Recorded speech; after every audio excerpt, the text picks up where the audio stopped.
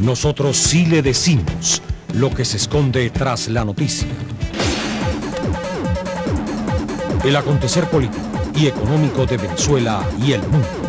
Lo último en deportes. La noticia. Información actual en todo momento. Por Venezolano de Televisión.